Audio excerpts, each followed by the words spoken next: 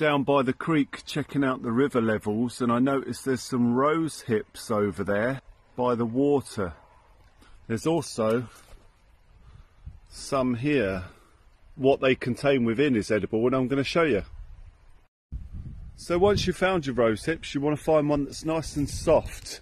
There's one here that's perfect.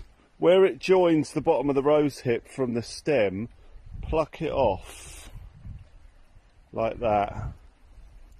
Now get it between your fingers like this. They're full of seeds, so this is the way to do it to avoid the seeds and get the juice within. Put it between your four fingers and squeeze it like this.